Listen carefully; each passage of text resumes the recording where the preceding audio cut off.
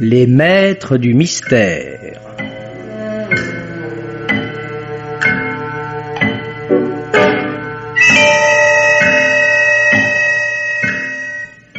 Parmi les chefs-d'œuvre du roman policier, Germaine Beaumont et Pierre Billard ont choisi pour vous ce soir La mort du bien-aimé, un film radiophonique de Jean Châtenay d'après le roman de Margot Neville, avec Roger Carrel, Jean-Claude Michel, Pierre Barteville, Philippe Mareuil, Jean-Jacques Steen, Jean Mauvais, Martine Sarcey, Arlette Thomas et Madeleine Lambert.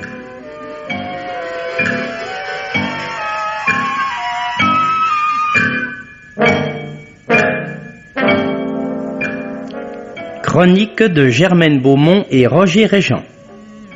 Bruitage Jean Berriac. Prise de son Robert Borel. Réalisation Pierre Billard.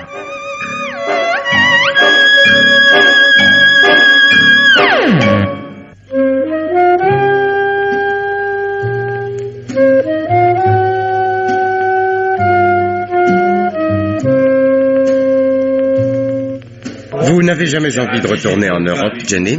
Quelquefois, si, Colin. J'ai envie de revoir la France, la Grèce, l'Italie. Ah, Mais à la réflexion, nous menons ici une vie beaucoup plus reposante. c'est vrai. L'Australie devient le dernier refuge des gens paisibles. Et je ne prends jamais l'avion sans avoir l'impression de commettre une action déraisonnable. Une femme comme vous, cependant... Moi, je suis rentrée à Sydney depuis trois mois. Je n'ai pas de projet, quelques amis. Et j'ai loué un agréable appartement à l'étage supérieur d'une charmante vieille maison. N'est-ce pas la vie rêvée pour une honnête femme? Tenez, voici vos propriétaires. Ils ne sont pas trop encombrants en temps ordinaire? Non, non, il reste au rez-de-chaussée. Elle a tiré les cartes et son frère a cherché le secret du mouvement perpétuel. Non, ils sont plutôt pittoresques. Je me suis sentie un peu obligée de les inviter ce soir. La première soirée que je donne depuis mon retour, j'aurais été malvenue de les laisser languir un étage au-dessous. Bonsoir, Madame Sommer. Bonsoir, Madame Otway.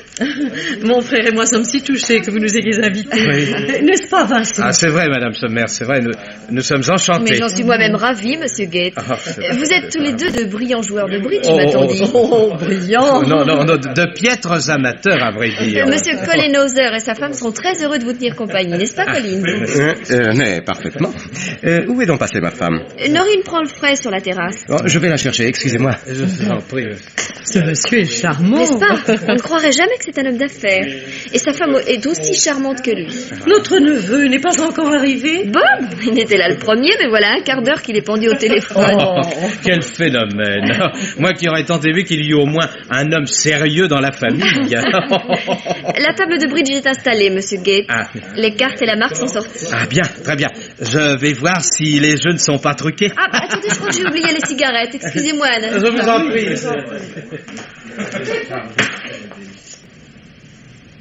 Mais mon petit... Mais... Mais, mais non, je te dis, laisse-moi parler, veux-tu? Je... Je suis... Excusez-moi, Bob, je viens seulement chercher les cigarettes. Oh, Jenny, je vous en supplie, prenez l'appareil, je suis épuisé. Mais qui est-ce Euh, Marjorie... Ah, ça, c'est vrai, vous ne la connaissez pas. Une femme jalouse Bon, inquiète tout au plus. De votre santé Ah non, ne plaisantez pas, cette fille est insupportable. Une susceptibilité de chaque instant. Une curiosité maladive. Enfin, elle a le défaut de croire les hommes sur parole, comme la plupart de ses sœurs, et de ne pas trouver à son goût ensuite qu'on l'ait menée en bateau. Voilà. Euh, non, non, non, ce n'est pas du tout ce dont il s'agit. Non, vous ne pouvez pas comprendre, Jenny. Si toutes les femmes étaient comme vous, les hommes vivraient en paix. Et les dons Juan, Bob, que deviendraient-ils Non, Jenny, chérie, ne dites pas de sottises. Vous, savez bien qu'un mot de vous et je... Je vous signale que vous n'avez plus la main sur l'appareil. Comment? Oh, oh, c'est possible. Allô, allô, allô? Allô? Elle a raccroché. Catastrophe. Vraiment? Enfin, catastrophe limitée dont les avantages excèdent les inconvénients. Non, mais franchement, vous croyez qu'elle entendait? Dans son intérêt, j'espère que oui. Bah, vous pouvez raccrocher à votre tour, je pense. Jenny, je vous adore. Comme vous devez être fatigué de répéter toujours les mêmes paroles, mon pauvre Bob. Je ne vous comprends pas, Jenny. Vous m'autorisez à vous prendre dans mes bras. Je m'autorise même à vous passer la main dans les cheveux. Et cependant... Vous êtes là, Jenny? Oui? Euh, Qu'y a-t-il, Colin Une visite pour vous. Bonsoir, Jenny. Kent Kent Patterson, quelle surprise Je vous croyais en voyage. Ah ben j'étais à Jakarta il y a quelques heures, si vous appelez ça un voyage. Bonsoir Bob. Bonsoir, Kent. Vous restez longtemps à Sydney cette fois? Tout dépend de la situation dans le Pacifique.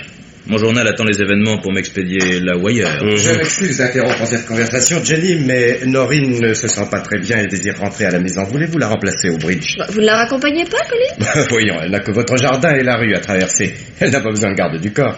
Au reste, la partie était bien commencée, j'aimerais voir la suite. Vous venez? Bien sûr. À tout à l'heure, Kent. Tout à l'heure. Un 421 avec moi, Kent Ou à condition que vous m'offriez tout de suite quelque chose à boire, sinon je m'effondre. Bien sûr. Allô, oui. Ah, c'est toi, mais pourquoi tu raccrochais tout à l'heure, Marjorie Vous m'excusez une seconde. Oui, vous êtes tout excusé, mon vieux.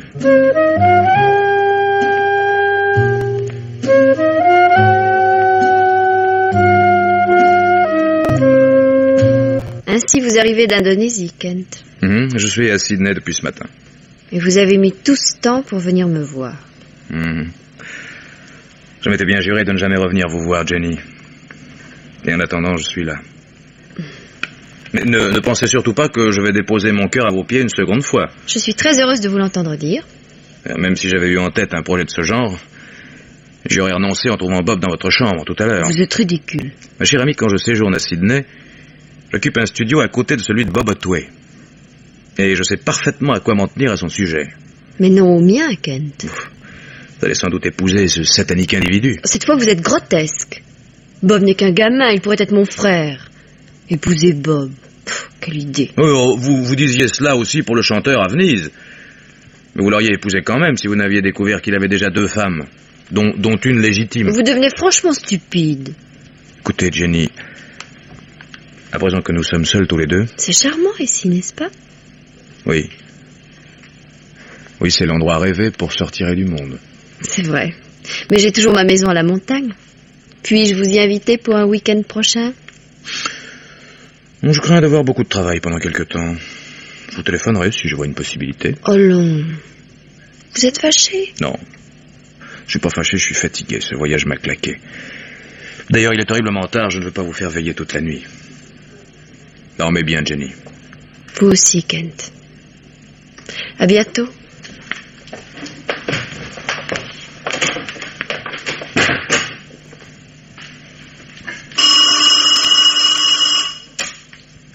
Allô Ah non, mademoiselle, je regrette beaucoup. Monsieur Bob Otway est parti il y a environ une heure et demie. Il vous avait donné rendez-vous Où Chez vous Eh bien, le mieux pour vous est de l'attendre, mademoiselle. Il n'est jamais que deux heures du matin. C'est invraisemblable. Jenny Oui Jenny C'est Ken, ouvrez Bien, que vous arrive-t-il, Kent Bob est mort, Jenny.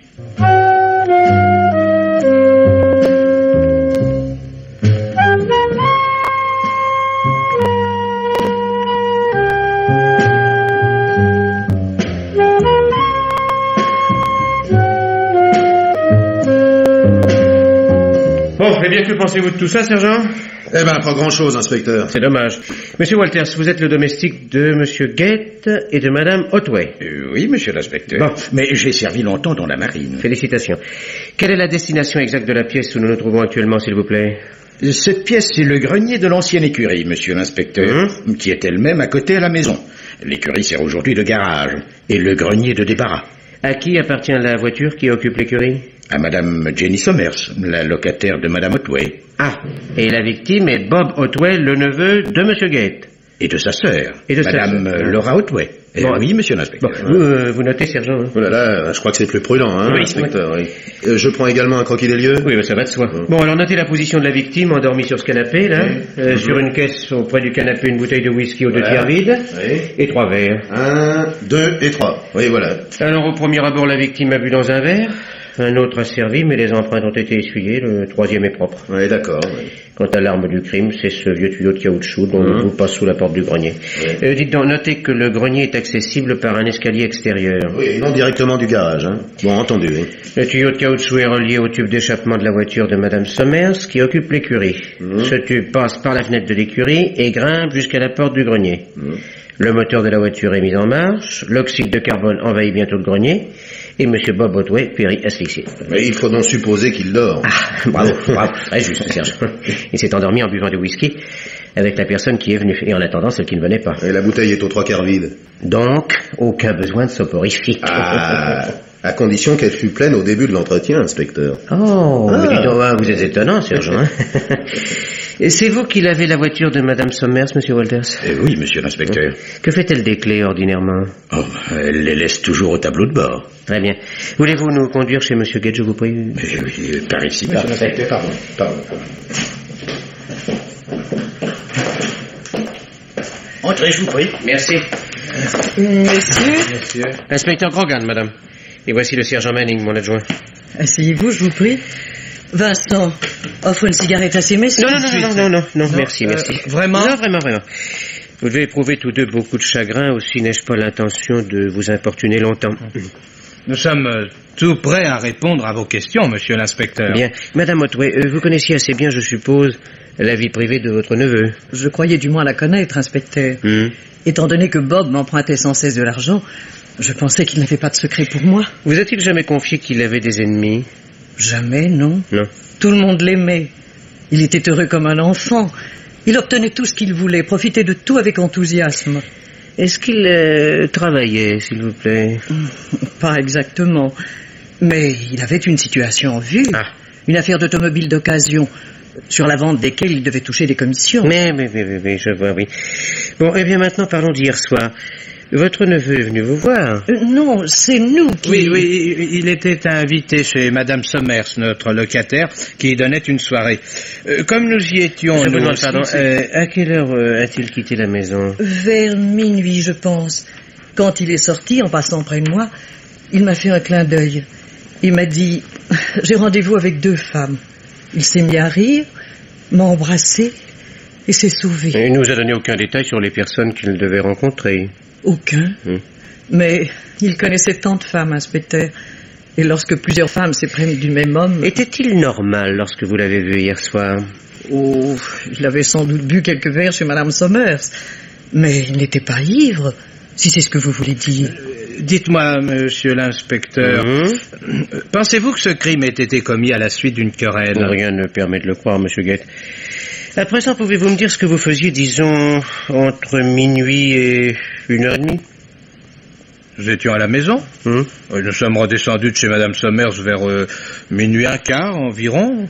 Nous avons pris une tasse de thé et nous sommes allés nous coucher. Ah. Ce sont les cris de Ken Patterson qui m'ont réveillé quand il a trouvé le pauvre garçon là-haut. Mon frère remet de vous dire que je suis sorti un instant vers minuit et demi pour mettre une lettre à la boîte en face de chez nous. Cela vous ennuierait-il de nous confier à qui était adressée cette lettre, Madame Otway Certainement pas. Elle contenait un chèque de cinq guinées et demi, était adressé à mon dentiste, le docteur Sudamore, immeuble Manchester Unity. Eh bien, je vous remercie de la patience que vous avez montrée à mon égard et j'espère que nous n'aurons guère l'occasion de vous importuner à l'avenir. Euh, Savez-vous si Madame Sommers est rentrée? Oui, oui, monsieur l'inspecteur, monsieur Patterson est avec elle, ainsi que Madame Hauser.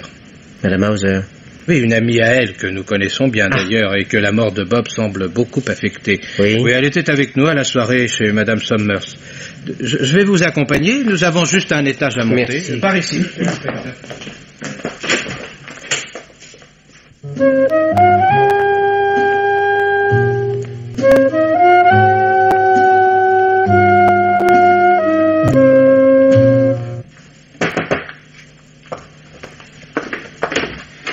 Madame Sommers, ce sont ces messieurs de la police. Entrez, messieurs.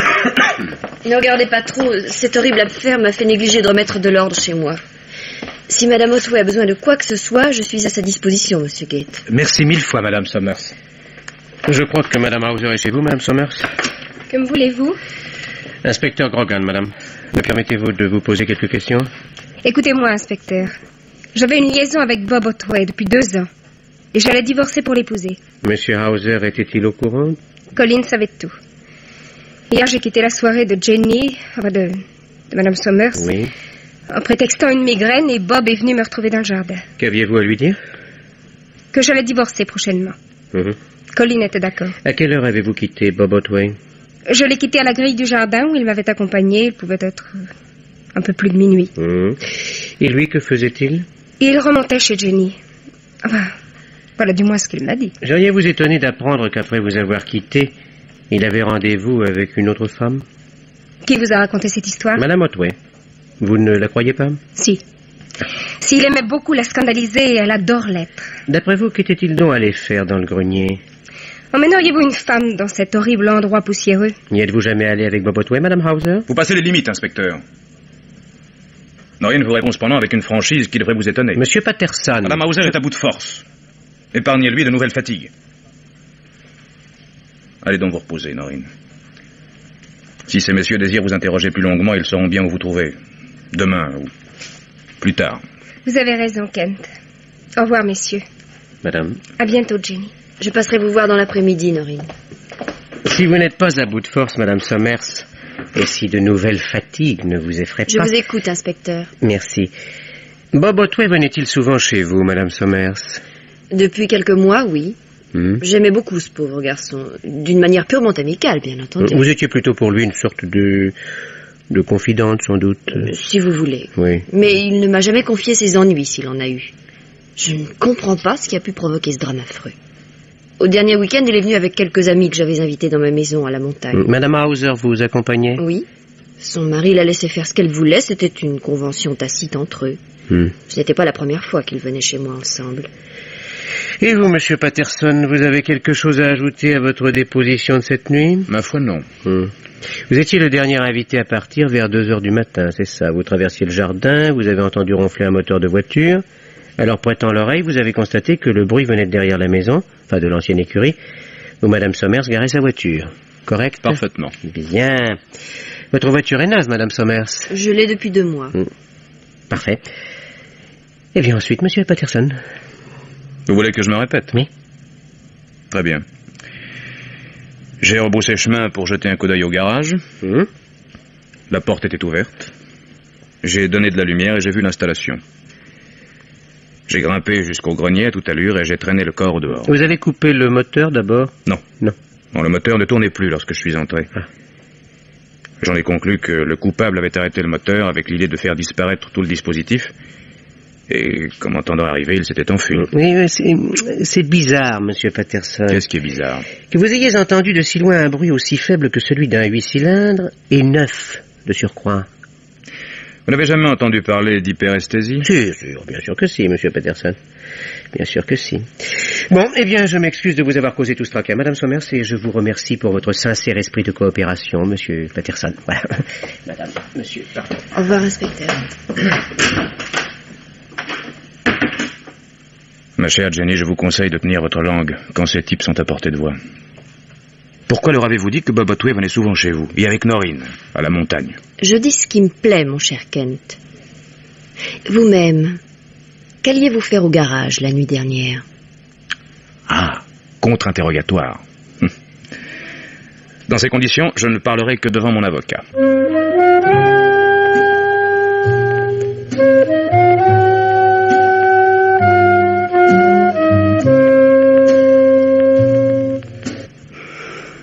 Norine.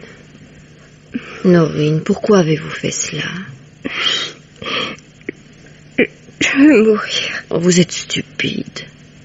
Heureusement que votre femme de chambre a l'œil sur vous et qu'elle a téléphoné tout de suite au médecin. Heureusement aussi que votre somnifère n'est pas bien méchant. Comment vous sentez-vous?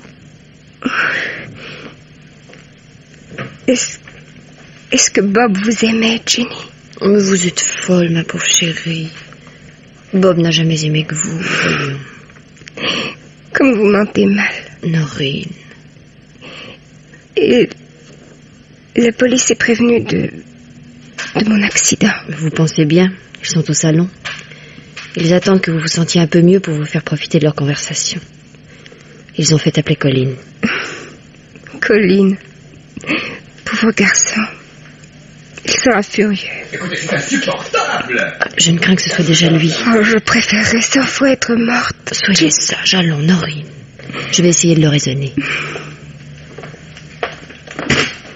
Mais qu'est-ce qu'on me veut à la fin? On ne va tout de même pas me sonner chaque fois que ma femme s'amuse à faire l'idiote. N'êtes-vous pas un peu inhumain, Monsieur Hauser? Non, écoutez, il y a des limites à ce qu'un mari trompé peut supporter, inspecteur.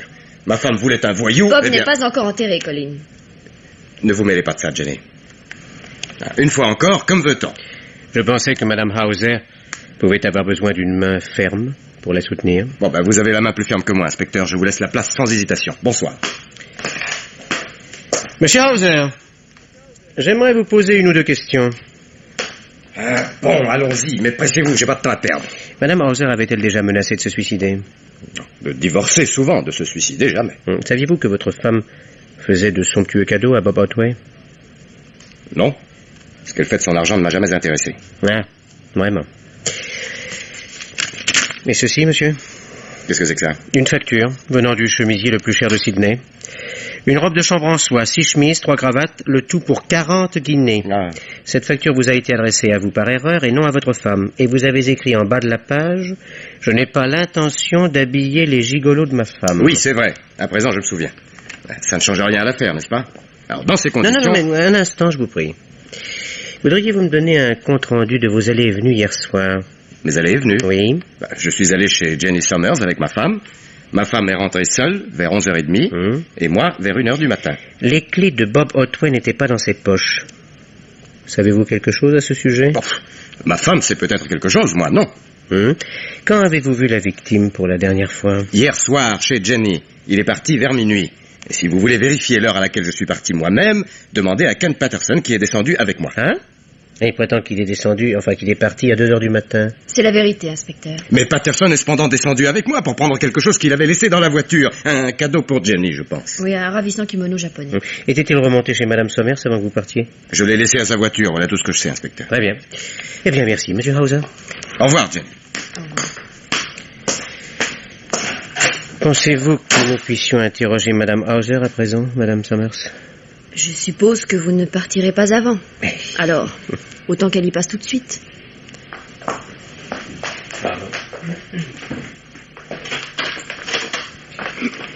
Ces messieurs peuvent-ils vous dire un mot, Norine?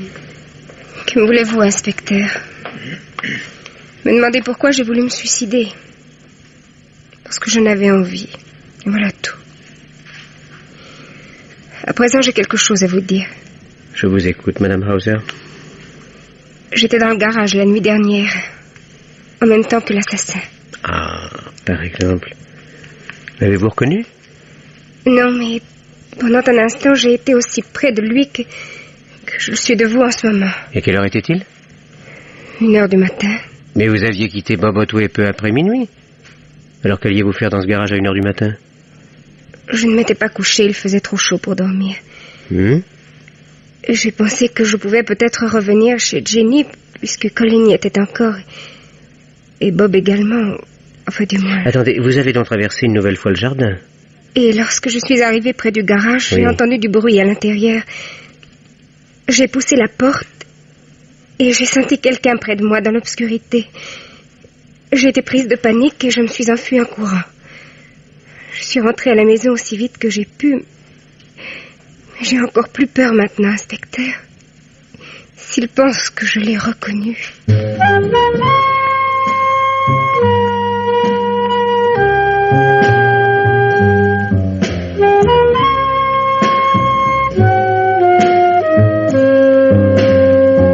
L'assistante du docteur Scudamore vient de me téléphoner. Elle m'a informé de votre visite, inspecteur. En effet, Madame Otway.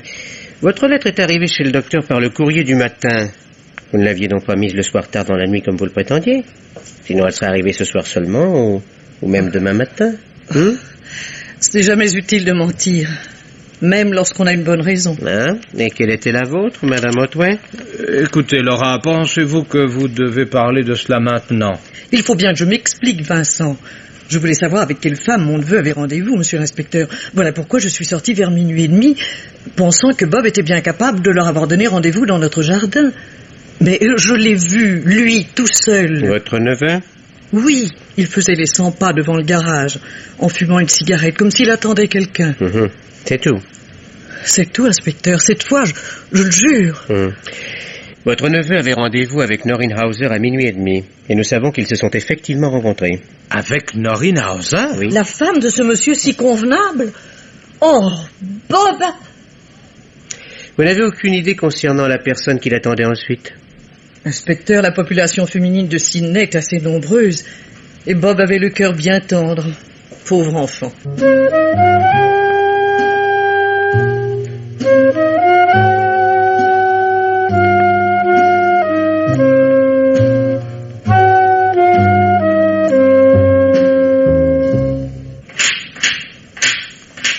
Jenny. Le verrou est posé. Merci, Kent. Vous êtes le bricoleur le plus complaisant que je connaisse. Trop heureux de vous complaire, cher ami.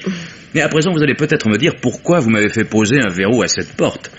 Étant donné que vous avez une armoire devant, il va de soi qu'elle est condamnée, non? Cette porte est l'ancienne porte de ma chambre. Elle donne directement sur le palier. Quand j'ai loué l'appartement de Monsieur Gage, j'ai préféré utiliser l'autre porte qui donne dans le salon. Et j'ai condamné celle-ci au moyen de cette armoire afin de n'avoir qu'une porte à fermer à clé quand je m'absente.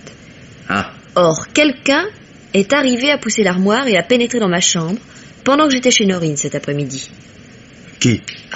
Comment voulez-vous que je le sache? Vous êtes envolé quelque chose? Jusqu'ici, je ne me suis aperçu de rien. Mais les journaux du soir qui rapportent la mort de Bob parlent de moi comme d'une riche veuve qui habite seule. Ainsi, vous croyez qu'après avoir lu le journal, en prenant son thé à 5 heures, un cambrioleur s'est précipité pour vous débarrasser de vos bijoux alors que la maison est entourée de policiers Alors, voulez-vous un peu de gin, mon cher? Non, je, je préférerais du whisky. Et, puis- et puis ne m'appelez pas mon cher. Oh, Je pensais que nous étions amis. Mais il n'est pas nécessaire pour autant d'adopter un vocabulaire de vieille fille. Hmm. Jenny, vous avez quelque chose sur la conscience et vous avez envie de me l'avouer. Moi? Allons, allons, allons, dites bien tout. Bon. Eh bien, ce n'est pas du tout pour me voler mes bijoux qu'on est entré chez moi. Ah, nous y voilà. Donnez-moi une cigarette. Je vous en prie. Merci. Voilà. Il y a une semaine environ, quand nous sommes revenus de la montagne, j'ai écrit une lettre à Bob. Du feu? Merci. Mais lorsqu'il est revenu ici hier soir, j'ai compris qu'il n'était pas encore passé à sa boîte postale pour prendre le courrier depuis le début de la semaine. Or, savez-vous ce que j'ai trouvé sur le tapis de ma chambre en me levant ce matin? Un gros chien policier chargé de veiller sur vous. Non. Les clés de Bob. Elles ont dû tomber de sa poche pendant qu'il téléphonait hier soir. Il y avait la clé de la boîte postale et vous avez couru récupérer votre lettre. Je lui écrivais pour refuser de l'épouser. Ah, très bien. Et Norine, que devenait-elle si vous acceptiez? Elle l'ennuyait, paraît-il. Puis tandis que vous, vous l'amusiez. Il m'avait fait cette proposition juste avant que nous nous séparions, en rentrant de la montagne. Je lui disais dans ma lettre qu'il ne fallait pas envisager une chose pareille, qu'il devait épouser Norine, et que s'il l'abandonnait, ça la tuerait. Et vous ne teniez pas à ce que cette lettre tombe entre les mains de la police pour ne pas porter les soupçons sur Norine? C'est à peu près ça. Mais avec ma lettre, j'en ai pris une autre, qui était aussi dans la boîte. Quoi Vous avez pris tout le courrier Ah oui J'étais trop inquiète pour faire un tri, j'ai tout pris, je me suis sauvée. Qu'y avait-il dans l'autre lettre Vous n'imaginez tout de même pas que je l'aurais ouverte. De toute façon, je ne l'ai plus. Ni la mienne, d'ailleurs. Ah, c'est ça que le cambrioleur est venu chercher. Oui. J'avais eu l'imprudence de les laisser toutes les deux dans le tiroir de mon secrétaire quand on m'a appelé auprès de Norine. Il n'a pas eu beaucoup à chercher. Mhm. Pensez-vous que ce soit pour votre lettre à vous ou pour l'autre la mienne ne présentait aucun intérêt pour personne. Et l'autre Réfléchissez, vous n'avez rien remarqué sur l'enveloppe Ce n'était pas une écriture que je connaissais. Je me souviens seulement qu'elle était timbrée de Singapour. Eh bien, si j'ai un conseil à vous donner, Jenny, c'est de téléphoner immédiatement à l'inspecteur Grogan. Non, vraiment? Oui, j'en suis persuadé. Bon. Bon, je vous obéis, mais... Ah, cette affaire me tue, Kent.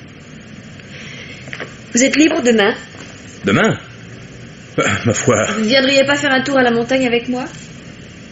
Je voudrais bien respirer un peu.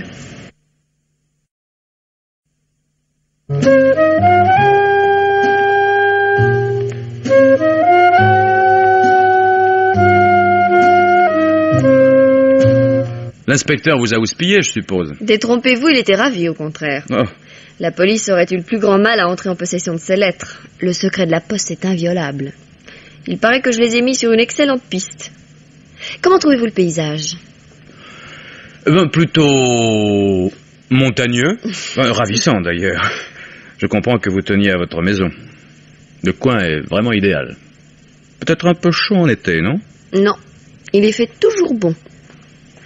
Bob Batway aimait bien venir ici, sans doute. Beaucoup. Il y venait même sans moi. Il m'est arrivé plusieurs fois de lui confier mes clés pour le week-end. Vous aviez une belle confiance en lui. Il est vrai qu'on lui aurait donné le bon Dieu sans confession. Vous êtes insupportable, Kent. Non, non, je suis seulement étonné de la confiance que vous témoignez à certains hommes et de la méfiance que vous affectez à l'égard de certains autres. Qui cependant ne vous veulent que du bien, eux. Vraiment? Tiens, vous avez de la visite. Encore ces policiers, même ici? Ça devient de la persécution. Bonjour, Madame Somers. Monsieur Patterson. Quoi de neuf, inspecteur? Qu'est-ce qui vous a amené ici aujourd'hui, sans indiscrétion Eh, eh, Le hasard. Ah, Madame Somers m'a invité à déjeuner dans son chalet, si ça vous intéresse. Mhm.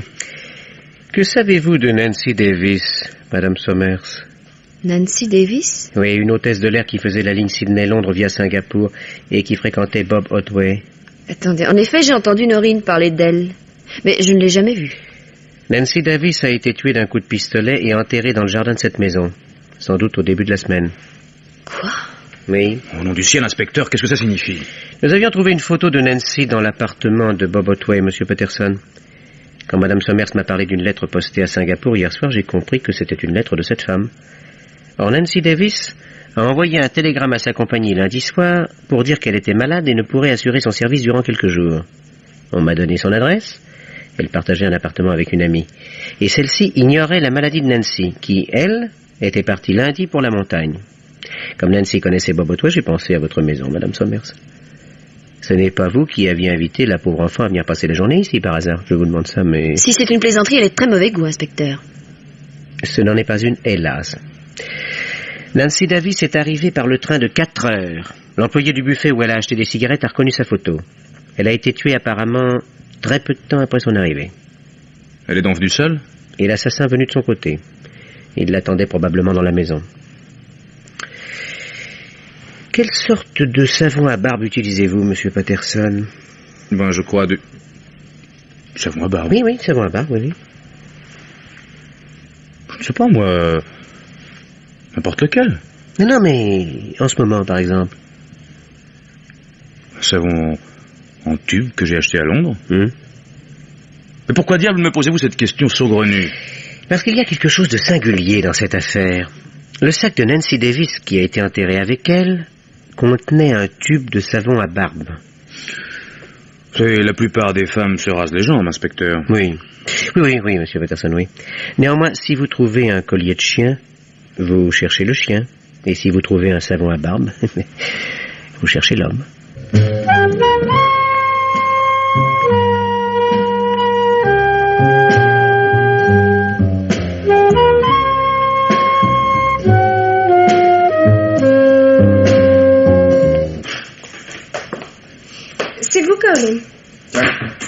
Vous, êtes là, ouais. Caroline, euh, je voudrais que vous fassiez quelque chose pour moi. Eh bien, demandez, Norine. Après tout, vous êtes toujours ma femme. Écoutez, dites-leur que c'est vous qui avez tué Bob. Quoi? Oh, Caroline, faites le don, ce sera tellement mieux. Tellement que ça? Oui, croyez-moi. Et pourquoi, s'il vous plaît? Si vous vous dénoncez, vous ne serez pas condamné du tout. Sinon, il risque à tout moment de trouver une preuve contre vous. Ah, La facture où je le traite de gigolo, c'est déjà fait. Et la police n'y voit rien de répréhensible, j'espère. Ah, et tout ça ne rime à rien. Allez donc vous coucher. Caroline, Mais- je- On croirait vraiment que vous avez envie de protéger quelqu'un, vous savez. oui. Vous.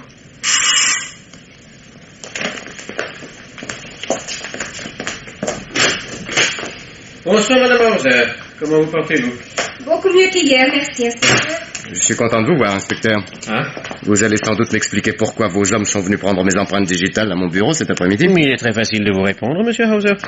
Nous avons trouvé vos empreintes sur un savon à barbe dans le sac de Nancy Davis. Nancy Davis? Nancy Davis. Oui, Nancy Davis a été tuée d'un coup de revolver et enterrée dans le jardin de madame Somers à la montagne. Oh mon Dieu. La chose s'est passée lundi dernier, c'est-à-dire quatre jours avant la mort de Bob Otway. Vous connaissiez cette personne, monsieur Hauser? Oui, j'ai fait sa connaissance dans l'avion il y a six ou huit mois, au Mhm. cours d'un de mes voyages d'affaires au Pakistan. Ensuite, il m'est fréquemment arrivé de me retrouver avec elle en rentrant à Sydney. J'ai, j'ai souvent le mal de l'air et elle était particulièrement aimable avec moi. Oui. Pauvre fille. Mais les deux crimes sont liés, d'après vous? Oui, oui, oui, sans aucun doute, oui. Elle était en relation très suivie avec Bob Otway. Enfin, je m'excuse, Madame Mauser. Ça ne m'intéresse pas du tout, inspecteur. Oui, comment pouvait-elle avoir un savon à moi dans son sac? J'ai le mien et jamais je ne me suis aperçu de sa disparition. Le savon est présenté dans un tube de plastique rouge, n'est-ce pas? En effet, oui. Hmm. Eh bien, le tube que nous avons trouvé dans le sac de Nancy Davis était aux trois quarts plein de cocaïne. Non. Oui. Nancy Davis trafiquait de la cocaïne avec Bob Otway. Cela n'a pas l'air de vous émouvoir, Madame Hauser. Je vous ai dit que je m'en moquais, inspecteur. de la cocaïne. Ah, lui, lui, ça ne m'étonne pas. Ce petit salaud était capable de tout. Mais Nancy, comment s'y prenait-elle? Son fournisseur devait se trouver à Singapour. Elle achetait un tube de savon et elle embourrait une partie avec la drogue. Lorsque vous-même quittiez Singapour, elle vous débarrassait sans doute de votre mallette, non?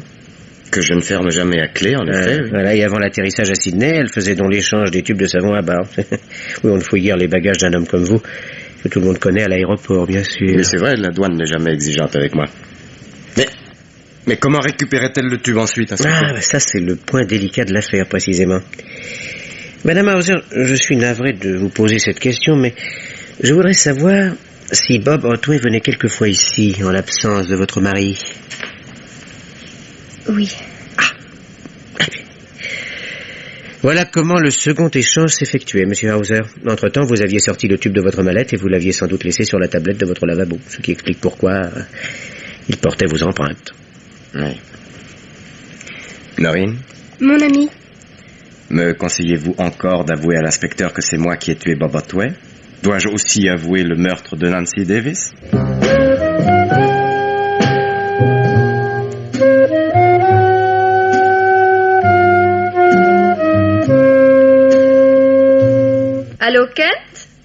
Êtes-vous? Ah, Vous rentrez de Melbourne? Eh bien, vous n'avez pas perdu de temps pour m'appeler, c'est gentil. Bon voyage? Tant mieux. Ah, vous avez beaucoup réfléchi. Oui, je sais que vous êtes un homme de confiance. Un de ces hommes que les femmes négligent pour s'enticher de Godeluro sans aveu. Comment? Oui, venez si vous voulez, je serai seule. Mais non, je ne me résigne pas à vous inviter. Quel drôle de garçon vous faites. À tout à l'heure, oui, je vous attends.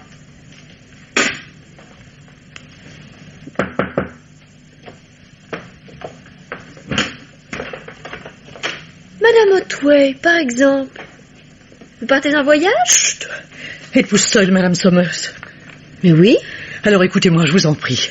Il faut que vous m'aidiez. Non, ne tentez pas de me retenir ici. Chaque minute compte. Personne ne sait que je suis chez vous et personne ne doit le savoir. N'essayez pas de me convaincre du contraire. Mais je ne dis rien, Madame Otway. Je ne veux vous demander qu'un tout petit service. Si l'on vous interroge, répondez que vous ne savez rien. Je vais partir tout de suite et je voudrais que vous me conduisiez. Où allez-vous? Ne me le demandez pas, je vous le dirai lorsque nous serons à la gare. Je ne peux pas prendre un taxi, les chauffeurs sont toujours interrogés. Mais il faut que je parte immédiatement. Voyons, Madame Otway. Je sais qui a tué Bob et Nancy Davis. Comment Voilà pourquoi je pars. Je sais qui a commis ces deux crimes épouvantables. Et si je reste ici, ce sera mon tour. Mais Vous n'avez sans doute que des soupçons. J'ai une certitude, Madame Somers. Personne au monde ne sait qui a tué Bob et cette malheureuse, sinon moi et l'assassin. Mais je ne peux pas dire qui il est, comprenez-vous? C'est pour cette raison que je dois partir. Très bien. Je vous accompagne.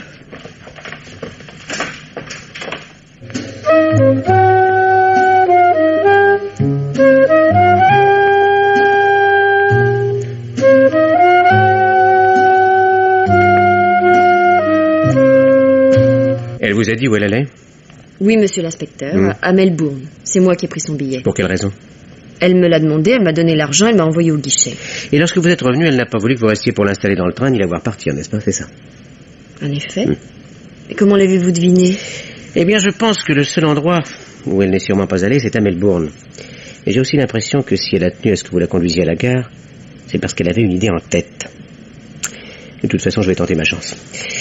Eh bien, je vous remercie une fois de plus, Madame prie. Un policier éprouve toujours une agréable surprise lorsque quelqu'un lui dit la vérité, volontairement.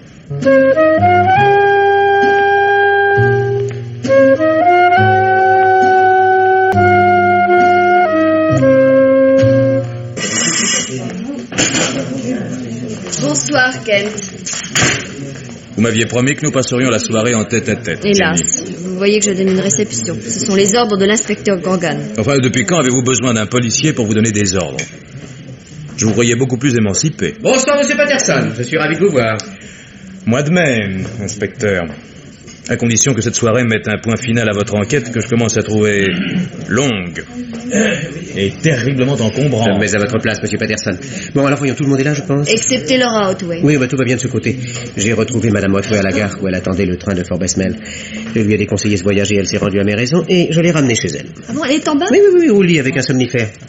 Monsieur Guette vient de monter et il m'a dit qu'elle dormait à point fermé. N'est-ce pas, monsieur Guette Ah oui, oui, oui, oui, je, je pense que ça lui fera du bien. Ma pauvre sœur était nerveuse ces temps-ci. Bon, avouez qu'elle avait certaines raisons. Bien, je crois que nous pouvons commencer.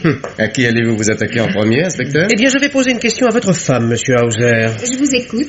Voulez-vous me rapporter le plus exactement possible la conversation que vous avez eue avec Bob Otway le soir de sa mort, madame Hauser? Que vous n'êtes pas obligé de répondre, Norine. Vous pouvez refuser et demander un avocat, n'est-ce pas, inspecteur Mais parfaitement, monsieur Hauser. Mais en général, la personne qui réclame l'assistance d'un avocat se sent accusée de quelque chose. Or, vous remarquerez que je n'accuse aucun d'entre vous. Mais ne craignez rien, inspecteur, je parlerai volontiers. Quand j'ai rencontré Bob dans le jardin vers minuit, nous avons eu une brève discussion à propos de nos difficultés financières respectives. Ah. Car nous devions nous marier, je vous le rappelle. Hmm La situation semblait délicate. Je pensais bien que Bob n'aurait jamais un sou. Alors il m'a, il m'a parlé de son affaire de cocaïne. Mhm. Il m'a dit que lui et ses complices avaient eu quelques ennuis au moment du partage des derniers bénéfices, mais qu'il allait y rester au clair cette nuit-là. Bien. Nancy Davis de- devait venir le voir quelques instants plus tard, dans le grenier de l'écurie. Ma parole, Bob Otway avait rudement confiance en vous. Non, non, oh non, il était seulement comme un enfant vaniteux. Il ne s'était pas rendu compte que j'éprouvais de, de la répulsion à son égard, comme n'importe quelle femme normale en, en apprenant qu'il trafiquait de la cocaïne. De plus, il avait imaginé de cacher la drogue dans le tube de savon à barbe d'un voyageur. Et le fait que ce voyageur était mon mari avait follement amusé Bob. Hum, C'était un garçon vraiment plein d'esprit. Excusez-moi. Je vous en prie, madame. Madame Otway. Mais je pensais que vous dormiez. Je devrais dormir à cette heure, Madame Sommers, pour ne jamais me réveiller. Comment? Vous aviez raison, monsieur l'inspecteur.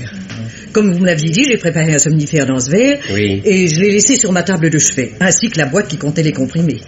Je suis allé m'enfermer dans la salle de bain pendant dix longues minutes et lorsque je suis revenu, il manquait 12 comprimés dans la boîte. Si j'avais vu le contenu de ce verre... Ne bougez pas, Ne craignez rien. Le sergent Manning et deux camarades l'attendent sur le palier.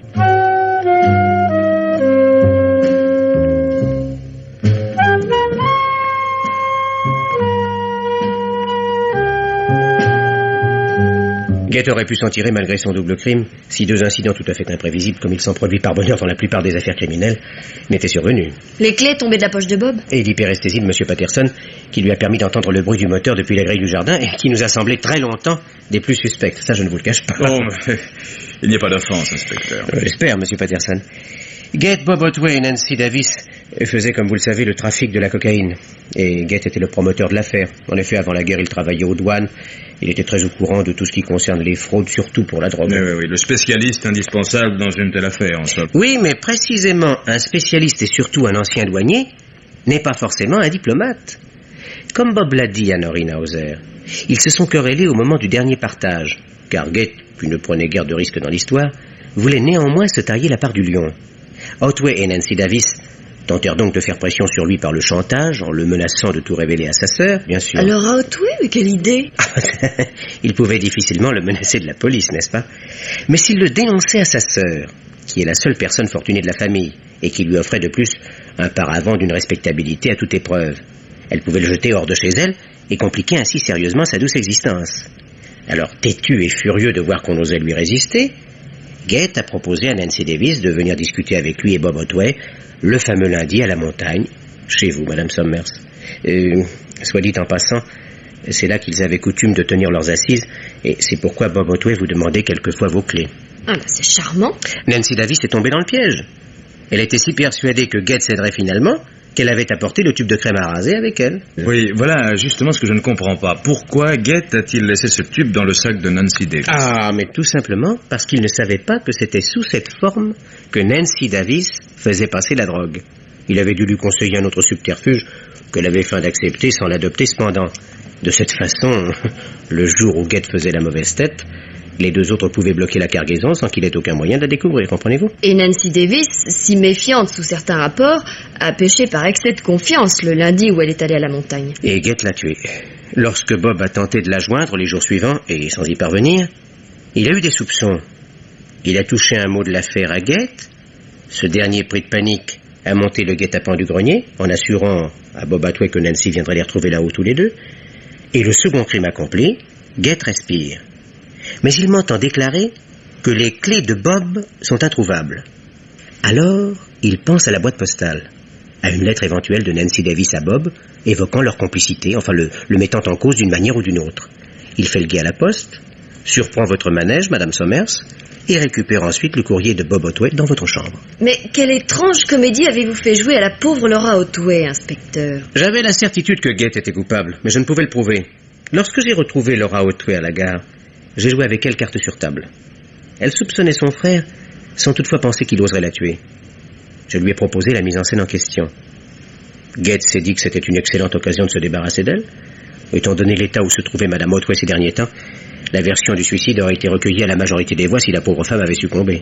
Heureusement, elle ne s'est pas laissée faire. Voilà toute l'histoire. Un peu de whisky, inspecteur Non, non, non, non, non, merci, Madame Somers. Non, je vais être obligé de vous quitter.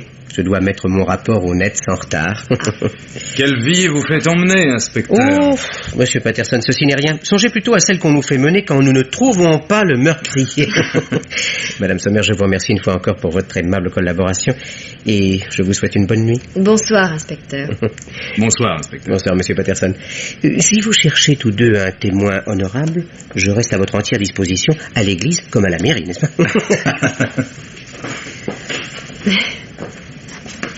Qu'est-ce à dire, Kent Ah, je je n'en ai aucune idée, Jenny chérie. Avez-vous une opinion?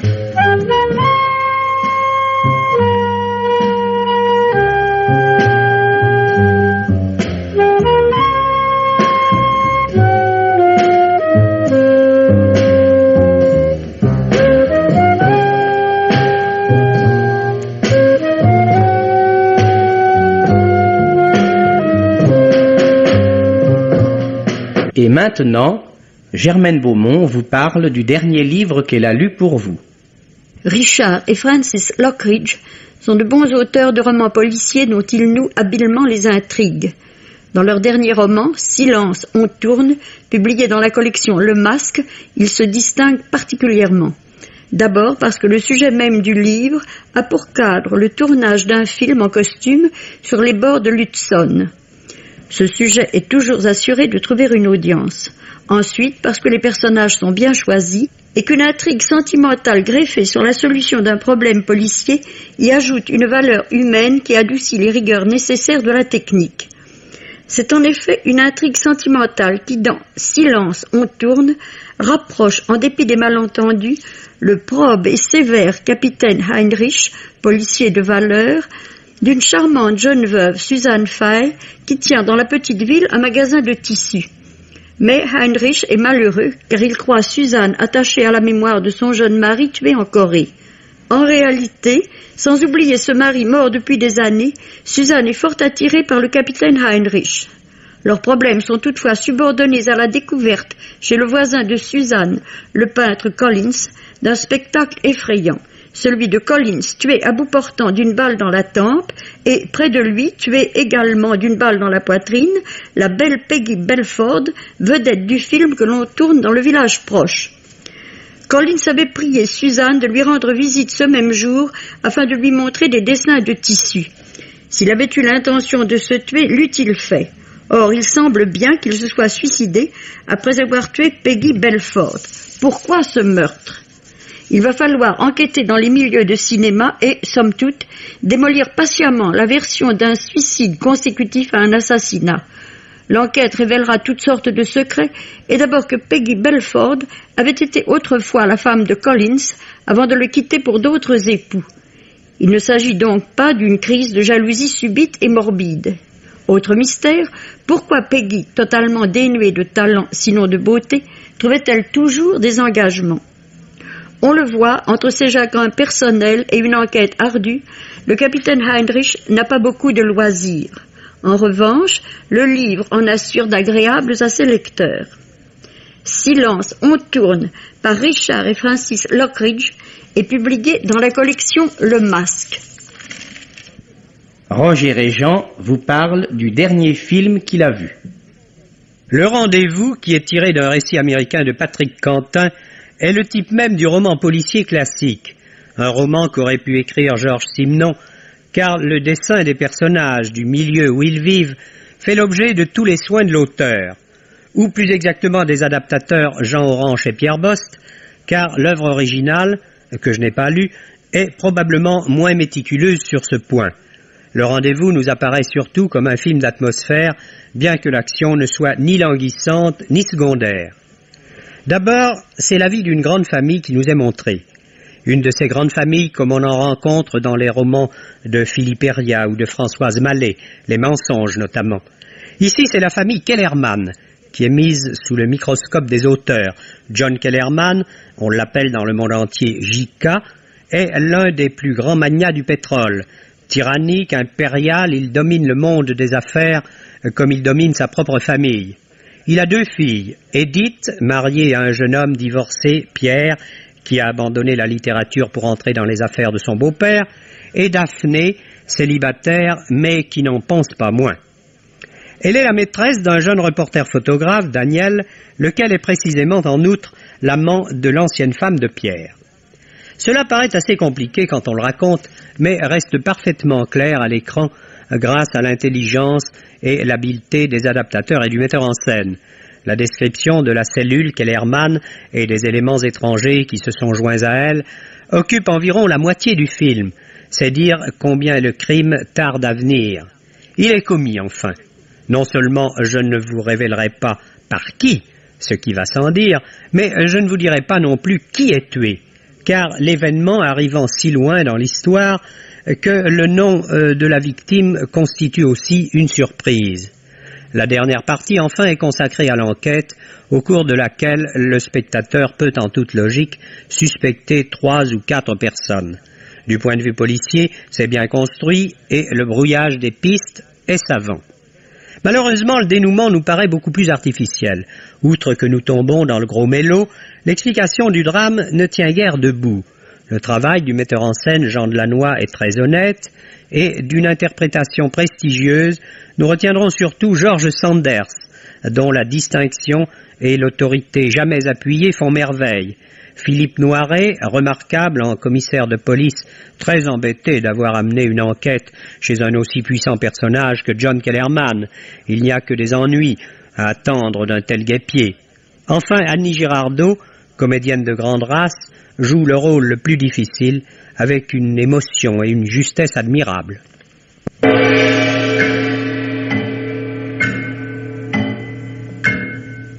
Les maîtres du mystère.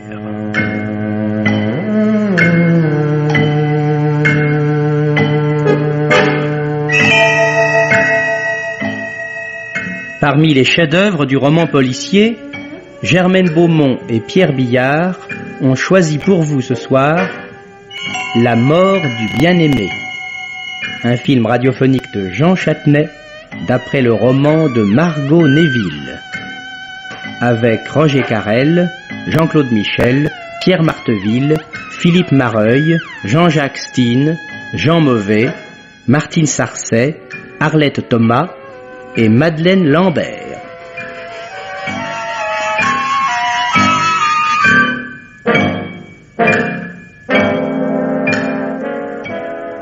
Chronique de Germaine Beaumont et Roger Régent. Bruitage Jean Berriac. Prise de son Robert Borel. Réalisation Pierre Billard.